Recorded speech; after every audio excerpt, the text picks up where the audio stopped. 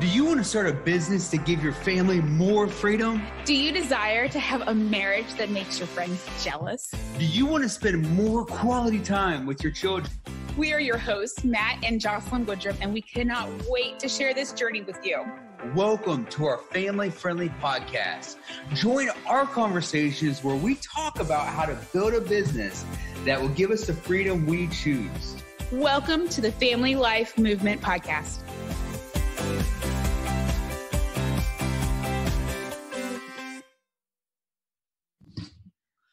Welcome to the Family Life Movement Podcast. Today we have Stacey Chillemi. Stacey is on a mission to transform health of millions worldwide. Check out her website at the complete herbal guide, sorry, dot com, the complete herbal guide.com. She is a popular and recognizable health and lifestyle reporter and expert, columnist, and health host the author of the complete guide to natural healing and natural remedies for the common conditions, along with 20 other published books. She is the founder of the complete herbal guide and a recognized health and natural remedies expert with over 20 years in practice as a health coach. She wrote for the Huffington Post, HuffPost, Thrive Global, and Medium, which is owned by Arianna Huffington. She has been a guest on the Dr. Oz show, local news, and numerous radio shows. Her focus is on natural healing, herbal remedies, alternative methods, self motivation, food for medicine, nutrition, fitness, natural beauty remedies, and the power of positive thinking. Stacey, welcome to the podcast. Oh, thank you so much for having me. So, Stacey, I want you to tell us a little bit about what brought you to this place in life. Well, you know, it all started. I I had um, developed uh, encephalitis at the age of five. I had a virus um, that had traveled to my brain, and uh, the virus had called uh, called encephalitis had traveled throughout my brain caused scar tissue damage. Till this day, they can't find the scar tissue damage. I was in the um, hospital. Um, I was there in a coma for several days. Um, you know, when um, when I was there, they didn't know if, if I when I came out if I was going to be paraplegic or um, you know what, what, severe brain damage I might have from it. But when I came out, um, there was nothing wrong with me. I asked for McDonald's French fries, and uh, but the one thing I was left with was that um, that scar tissue damage that they can't find till this day, and which left me with epilepsy. Mm-hmm. Um, I had developed seizures throughout my entire life, and I had struggled um, perversely trying to um, deal with my epilepsy and as I gotten older, um, I had a, a, really hard time, especially when I was going through college. I was trying to struggle, trying to figure out a way I could, you know, do that late night studying, all that stress of uh, going to college and not have seizures and be able to actually finish college and move on with my life. And I wasn't having an easy time, and I had to, I had written a, a letter to the Epilepsy Foundation. They had a magazine, and I asked for them to publish my magazine and I my article in, my, in the magazine and I asked them, how do other people cope with this disorder? I'd like to hear from others telling me how they cope with the disorder. And surprisingly, I had hundreds of letters from all the United States and Canada come to my home. Uh, people sharing their stories, telling me how they um, dealt with epilepsy, how they cope with it on a daily basis. And it was so inspiring. It really, you know, it made you realize at that moment that you weren't alone, that there were other people out there and not just with epilepsy but with every disorder. A lot of times when we have disorders or diseases we think we're alone. We don't realize that there are so many people out there just like you and i that have similar situations that are struggling and you know it's it's so nice when people could just reach out and help each other. And i had put together over the years i had started a book. I wanted to use a lot of those inspiring stories and inspire others uh, because back then um, they didn't have many books on epilepsy. There was probably like five or six books on epilepsy, and then there was a couple of books, um, you know, written by doctors, and uh, you know, it just went. If you weren't a doctor yourself, it just went right over your head. The to medical terminology wouldn't really, you know, a lot of people wouldn't comprehend what they were trying to get across, and uh, so I started that book, and then I had finished college, and uh, I went to New York, and I was working for a big corporation, and uh, I had fell to the ground, and I had a seizure, and one of the producers had walked over me and kept walking, and uh, I was just left on the ground, and I saw him because I was half conscious, and I saw him do that, and I couldn't believe myself that he did that, and when about half an hour later, I was released from my position um, because of that seizure. And so I just, you know, at that moment, I didn't let it get me down. I just said, you know, I'm not going to let this get me down. I'm going to move on. You know, there's more out there. And uh, so what I did was, is that I just moved on. And, uh, you know, not too long after the Epilepsy Foundation asked me to speak in front of Congress, I spoke in front of Congress for job discrimination. I, you know, I shared with, uh, you know, with uh, all different politicians all over the United States about what happened to me and, you know, how it made me feel and uh, and I just moved on. And you know, it was at that point too. I started I started writing. I started doing a lot of writing. I started a little blog called on um, Blogger. Um, and back then, that was like the, the, the big thing was Blogger. And uh, you know, I had like 400 people come on, and they were you know they were reading my stuff. And uh, I start I started uh, working for an herbalist, and I was doing a lot of research and writing for this herbalist. And I was and as I was doing that that. I was writing articles and publishing them about self healing.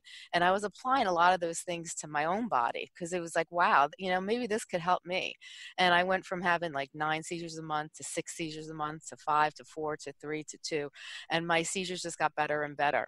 So I figured, you know, if this could help me, could imagine what it could do for people all around the world? And imagine, you know, if, if it could, you know, help just people with epilepsy, if people applied self healing to any dis- disorder, disease, or, or condition, what it might do for them. And that's how it all started. And then I was working for a freelance, um, he was a, he, he uh, uh, a website designer. He goes, You know, I could really make you a really pretty website when he saw all my content. And he created a website, and I went from 400 to 10,000. And then I went and I, I, and I had my website redesigned again, and it went from 10,000 to 500,000. And that's where we are today. And, you know, like people have a really deep love for natural healing, you know, and I wrote, um, I wrote 20 books in the meanwhile, you know, and I just, you know, it's amazing how powerful words can be and how they can inspire people. And with that book, with Epilepsy, You're Not Alone, I had, when that got published, that hit um, the best selling um, in, in, uh, for books with epilepsy. And, um, one person had wrote me and they said that they were on the verge of committing suicide that they you know that everything in their life went downhill once they got epilepsy. And uh, they said when they read my book and they applied a lot of the regimens and a lot of the tools and strategies I, I suggested they said that their life changed and turned around. And it was really then you know it was like a great feeling. If you could help somebody it's just the feeling is unbelievable. If you know if you could do something good for another human being you know um, the feeling of accomplishment is wonderful. And I realized then the, the, the wisdom of words, how powerful words can be and how they can affect other people's lives. And it was from that moment on, I just kept moving forward. Wow. Your story is amazing. uh, you have come a long way. yeah, absolutely love your story. And I love one of the biggest things I love is that you took a bad situation, you took that and you looked at that as an opportunity to learn and to experience something new and to better yourself. And I think that that relates a lot to where we're at around the world right now. As we're recording this, recording this on May 8th, uh, you know, we have the coronavirus running rampant and, and different yeah. things like that. So I think there's a great parallel between your story and the things some of the things that you've been through and and you know maybe not seeing that light at the end of the tunnel. And you know it's, it's difficult for people to see and wrap their head around when and what this is going to look like when it ends. And so right. I, I, think you are the perfect guest to have to have at this time. Thank you so much. Uh, so, so, us what you think that um, some family, the families that are going through this, what, what are they feeling right now? What, why are they feeling that way? You know, I think a lot of times too, like people feel um, the lack of purpose, you know, in, in during this time.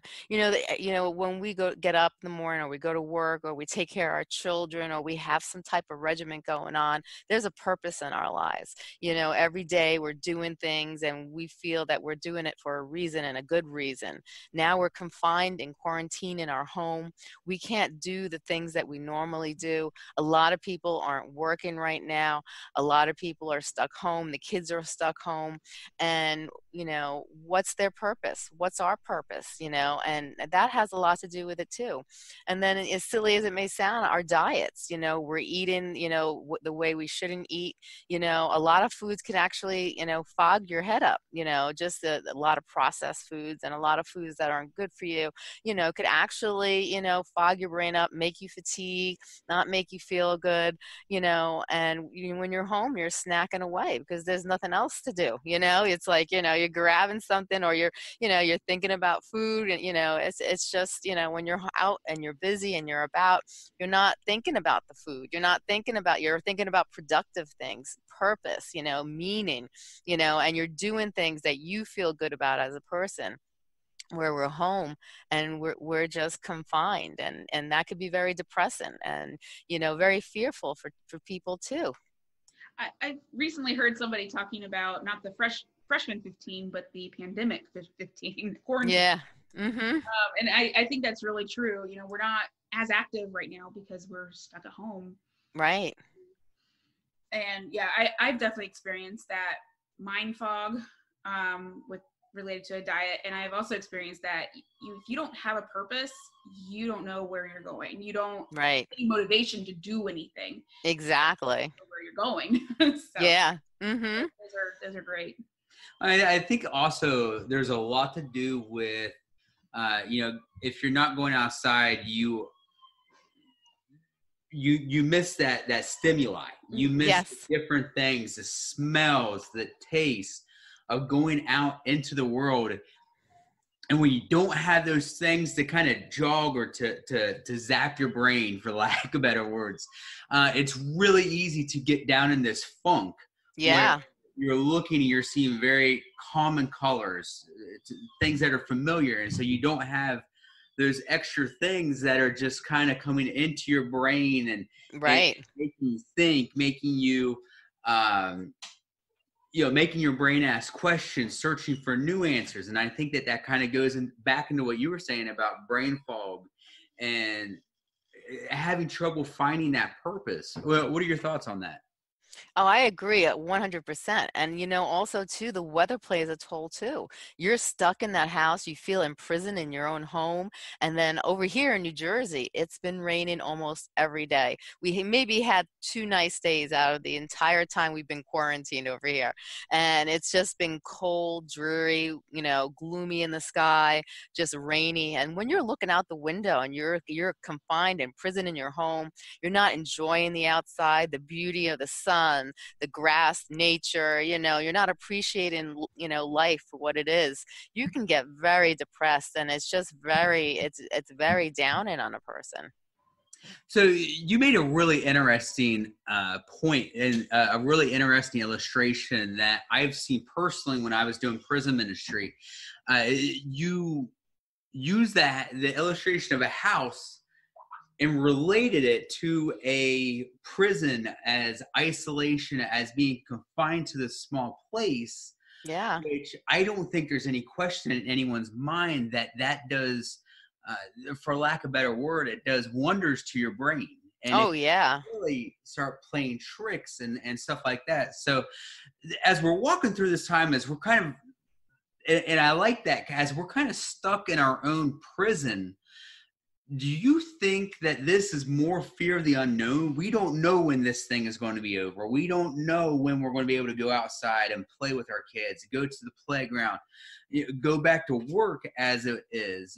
Uh, do you think that that is the, the biggest fear and the biggest frustration along with this idea, this mentality that we're in our own our own prison, which in our prison interesting enough, and I know this is getting into a lot more into the psychology than, than uh, family and business and stuff. hmm But our house, our safe place, has become our prison in a sense. because we don't always want to be here 24 7 you know mentally we need to get out we need for our own for our own you know salvation of the mind we need to get out we need to explore and not be confined in one small area every single day you know it's, we don't want to do that you know we're it's against what we want you know and and and the fear of the unknown we don't know what to expect next because you know nobody's sure you know and it, it's just it, it's scary you know and they're saying maybe a second epidemic in the fall they don't know everything is up in the air and even with finances you know finance pays p- plays a huge um, stress you know it, with every every couple. Even when couples first get married all the time you know money is, is a big issue because you need it to survive you know and when you know people are getting laid off or they're not working as much and they're not getting paid for the hours they're not working and you see businesses left and right going out of out of um, out of, of business it's scary you know? It's like what's going to happen to this nation you know? Are we going to be just an online internet you know service you know? It's like what is the world coming to you know? And then it was the next day like not too long after we have a we have something on the news about the killer hornets you know coming to america. So it's like you know you want to talk about you know revelations you know that's a you know you feel it's like what's going on here you know it's crazy Yeah, I think it's really interesting. You know, I was talking to Jocelyn yesterday, or not. I don't know if it was yesterday or the day before, but you know, we were talking about, and, and thank the good Lord, this is not a politics podcast. I cannot. I, I'm not a big politics fan. hmm Um, but it's funny, we were talking about how this pandemic, with everything and the fears and stuff like that, were happening and stuff. And, you know, we were talking about, you know, the different rules and stuff like that Congress was trying to pass and our president and stuff like that. And it's interesting because everyone's got their own perception of what's Mhm. going on and how it's affecting them. And there's no rule book. You know, there was nobody that came beforehand and said, hey, you know what? This is what happens when the entire country gets ran down. Yeah What happens when your you know your finances just tank? hmm Pandemic, like we we've been through the Great Depression. There's some notes and stuff like that that we can learn from, but that right happened because of an illness or a virus or however you want to describe yeah the- hmm the virus that's going around. And so it, it- there's no there's not a rule book that says, hey, you know, here's the right decision to make. right So I think that that's something really important, really uh, yeah, I had said something like, um, "I'm really glad I'm not a decision maker because there is no right. You, no matter what you do, you're going to make somebody mad and you're going to make somebody happy. No matter. oh always Yeah. always you know I just, I'm so glad I'm caught in that role. so other than like different parties of government what other myths about this time that uh, what do you think would actually hurt our mind frame during this time uh, as we adapt them into our everyday lives? Like you know there's a lot of people out there right now who are saying hey you know what? The, the president's doing incredible. He's doing horrible. He's you know this that and we're adopting these different mindsets into our everyday life. Yeah. We're, we're finding someone to blame. That might actually be a better uh, way to word it was it was we're playing the blame games but hmm what other things that we're adapting during this time can actually hurt us a lot more than help us Well, I think there's a lot of fake news out there too. I think you have to know where to go to to get the right news. Like you go online and you can see there's so much fake news and so many, you know, people are making suggestions from their own opinion, making it sound like scientific, you know, news. You know, like if you want to go to get accurate information, go to the disease control. You know, you know, go to reliable, you know, um, websites like WebMD. You know, like you know, pe- places that you know that are going to be, you know, truly accurate. They're going to everything they've written is documented by either scientists or doctors, and every everything is verified. So you want to go to a place that you know is, is verified and accurate. You know, there's so many things. You know, I think one person I saw online said, you know, garlic can make it go away. You know, it's just you know, it was just like you know, crazy stuff. You know, it's just like uh, you have to really realize that you can't believe everything you read, especially on Facebook. That's like the the main main place where it's like totally, you know, it, it's just uh, you know, you hear lots of, and I also one thing that makes me mad too is I see a lot of people trying to make money off of this. You know, this is a terrible, you know, epidemic, and and people are trying to figure out ways they can make a quick buck. You know, which is also really, you know, makes me angry. And you have to realize you have to be able to spot those people and be able to not fall for their traps because there's a lot of traps out there. Definitely. Yeah. Um, so, what are some things that families can do to help them work through this time? Any suggestions on that regard? I feel that, you know, connection and communication is really important, especially among teens and, and, tweens. You know, a lot of times they can get into their, their cell phones and get into their, you know, Netflix and, and disappear on you. But, you know, sometimes they feel a lot of things and they just don't, they don't share it with their parents. You know, like I, you know, especially when the kids get to my, my kids are in their teens and, and young adults, you know, so to try to get, you know, college kids and, and teenagers to, to confess and tell me what their emotions emotions are is really it's a really big task. You know i've had conversations with my kids trying to get them to tell me how they feel about certain things you know and at the end of the conversation my one son told me let's not have this conversation ever again. So it's like you know they want to communicate they want to love they want you as their parent but sometimes they don't want to always um, confide in you with certain things. They might feel you know might be a sign of weakness to them it might be whatever the case may be they might be embarrassed but you could do your best to try to communicate with them and just throw it out there that you know i'm here. If you have any fears if you have any questions you know i'm here to answer. I'm not here to judge you know?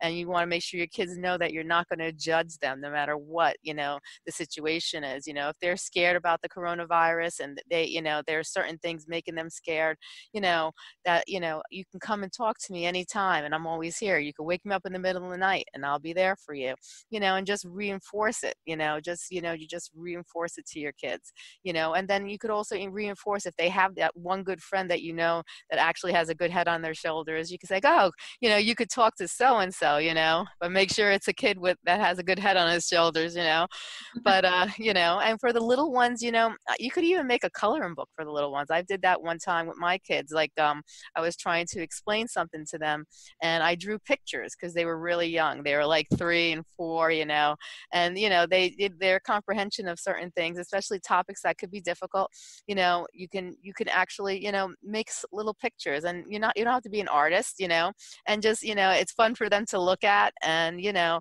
and then you can like make a little story and that makes it interesting for them and they absorb it really well. Kids love stories and any form. Yeah.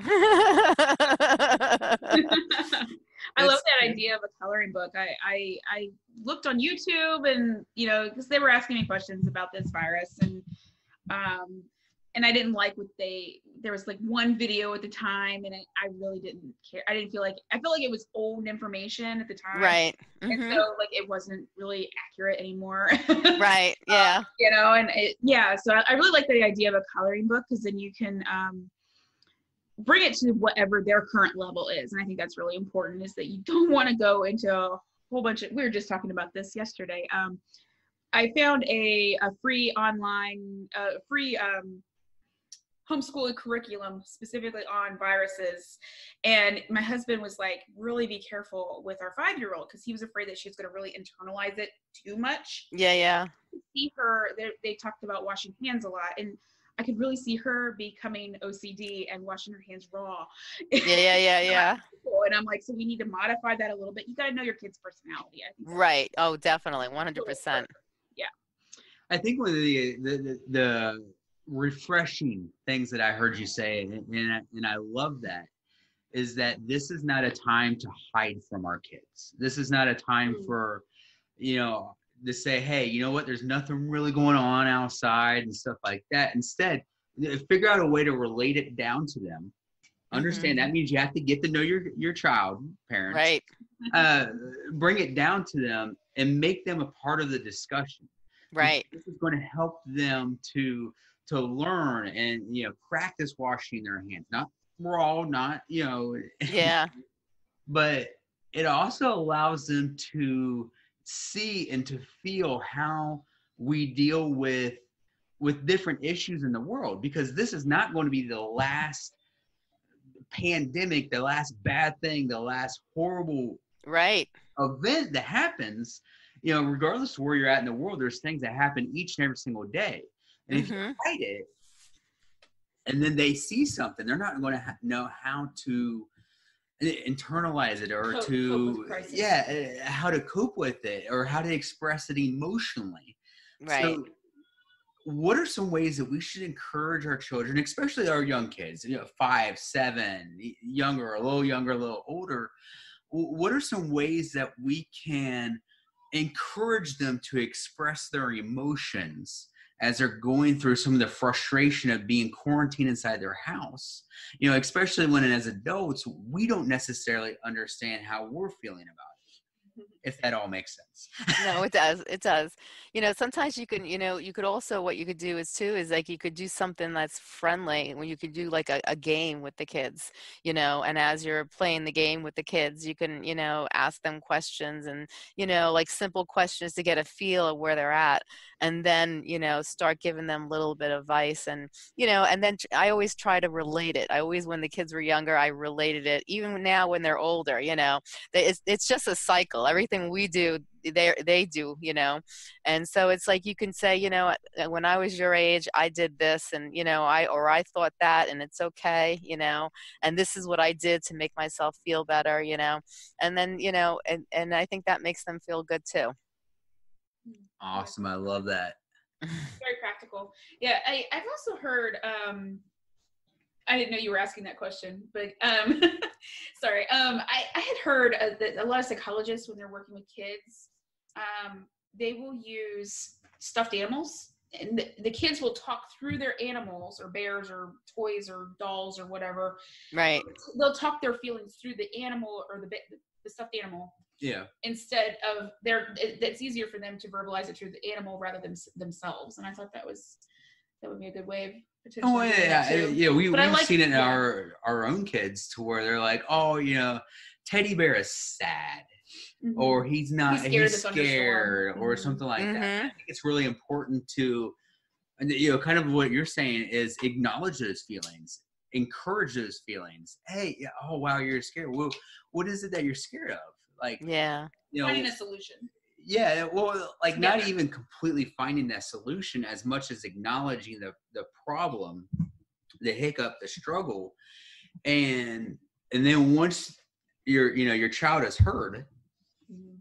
once they understand you know if if, if you know for the families you know we have daughters you- they need to know that their how they feel is important they need to know that that their feelings regardless if we're feeling the same way they need to know and understand that their feelings matter yeah and I think I think with with the teddy bear thing, it was really good because I think it's like they're they're too embarrassed to say it's them, so they're Mhm. talking through the teddy bear, and it's not them, but it's the teddy bear, you know, and they're still looking for the answer or the reinforcement, you know, but they they don't have to admit that it's actually them feeling that way. um, so do you have any ideas for how they can cope these kids cope with mm-hmm. having to stay home and not seeing their friends that interaction social aspect that they're missing out Well, I- I think the you know having the internet and having the you know and you know having the computer and and the iPhone has been a really you know big mm-hmm. help. They also have they have like applications now like called Hangout and other stuff where they can all go on just like Zoom, all go on at once, you know, and have a bunch of people talking at the same time, and it kind of gives them the feel, you know, they know they're not with each other, but it gives them the feeling that their friends aren't that far away, you know and uh, I think that's like helpful too. we've done that with family too yeah Yeah, calls with grandparents. has A lot of people were doing that during the holidays, like Easter time and stuff like that, and Passover. They were doing that. They were uh, they were doing that um, with uh, w- with it also. Yeah, I think that. Ha- yeah, those are. I didn't know about Hangout. That's a new one on me. Uh, I- I- Google we- Hangouts. We have. I don't think it's Google Hangouts. I thought it was something different. But um, yeah, but we have smaller kids. so Yeah, yeah. I was trying to encourage my kids. I guess uh, Facebook Messenger has a kids version. We were trying to get her to use that a little bit. Oh, okay. Um, yeah, because it, it that way it, it encouraged her to work on reading and writing as well. Yeah, right. Yeah. Because she was just really giving us a fight about it. Um, so that was a that was a nice thing. So So, are there any other tips, tricks, habits that you can uh, that as parents we can implement with our kids? Uh, you know, especially during this this time frame. Um, I think it's good just try to like you have quality time with the kids, like do like different things, like you maybe even baking, you know, if the kids like to bake, you know, maybe bake cookies and while you're baking cookies, you start to talk and believe it or not, simple things like that actually grow bondedness, you know, between the child, the mother, the father, or even like if like if a boy and his father, you know, you pick a, a more manly thing, even watching TV, you know, you watch wrestling on TV, you know, and you just sit there and you just, you know, and, and as you're talking, you know, you know, you bring up little stuff in, in between, you know, and it kind of brings the bond in because you have something in common and then, you know, the trust factor. And then, you know, you can share and communicate with one another and actually, you know, learn stuff that you may not have known before and then help him and give him the advice and the and the guidance that he needs. Or her. I, girls can like wrestling too. I liked wrestling. Thank you for listening to the Family Life Movement podcast. I hope you had as much fun as we did. To hear our thoughts on the podcast and to continue this conversation, join our free Facebook group by searching for the Family Life Movement. See the show notes for links to our guest social media and websites, and any resources that were mentioned will also be linked in the show notes. Also, if you're enjoying the podcast, please go rate and review and send us a screenshot, and we will send you a special access gift. Join us next time for more conversations, tips, and tricks on growing your business around your family. Thanks for joining us and have a great day.